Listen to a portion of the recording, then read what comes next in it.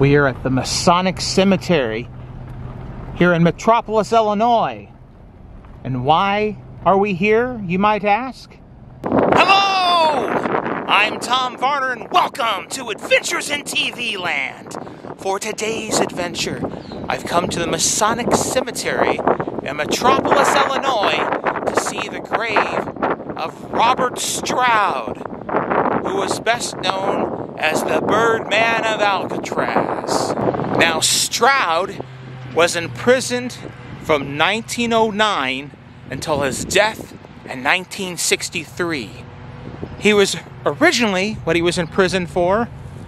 He was a pimp in Alaska, and he ended up killing a man who uh, made some, I guess, basically indecent comments, or maybe had some advances, I'm not for sure, but to Stroud's mistress, and Stroud killed him.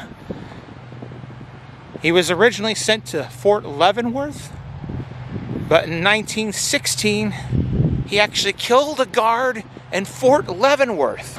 It was during his time in Fort Leavenworth that Stroud became interested in birds, particularly canaries, and he studied them. He actually wrote some papers, some articles, um, did experiments.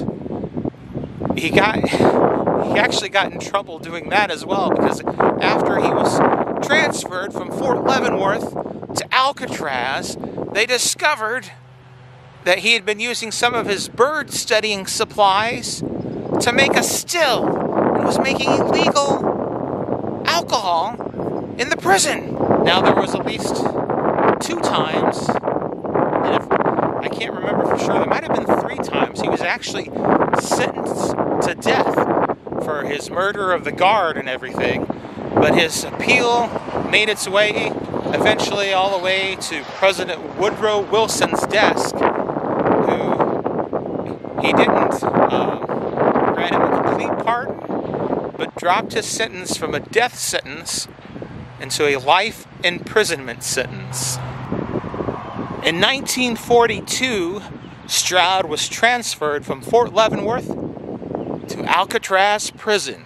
And in Alcatraz, he continued his study of birds, and um, that is how he became known as the Birdman of Alcatraz.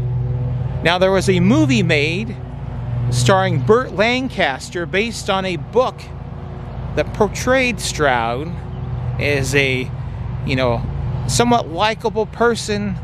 And, you know, it was called The Birdman of Alcatraz. That came out, that movie and the book, they both came out in the 1950s, I believe. The thing is, Stroud was a very violent man who could become unhinged at a moment's notice. So he was nothing like his portrayal in the movie by Burt, Burt Lancaster portrayed him, the Birdman of Alcatraz. In real life, Stroud was nothing like that at all. So, if you ever watch that movie, just keep it in mind. I believe Burt, Burt Lancaster won an Academy Award for his portrayal, but but uh, that's not Stroud in real life was nothing like that. He was quite violent. So we've come here to the Masonic Cemetery in Metropolis to see the grave of Robert Stroud, the Birdman of Alcatraz. And there it is, the grave of Robert Stroud, the Birdman of Alcatraz. There's all kinds of different birds people have left. There's a bird wind chime, a carved wooden bird, and all kinds of other birds. Even a even a bird feeder out here. Guess so the birds will come on his grave.